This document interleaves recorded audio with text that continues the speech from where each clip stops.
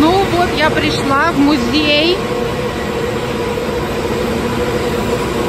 этих трамвайчиков. И вот здесь вот как раз кабельных трамвайчиков. Вот здесь вот как раз видно, что как они все ездят, что вот эти колеса работают и тянут кабель, а кабель тянет уже все эти трамвайчики. То есть это не просто электричество. Очень интересно.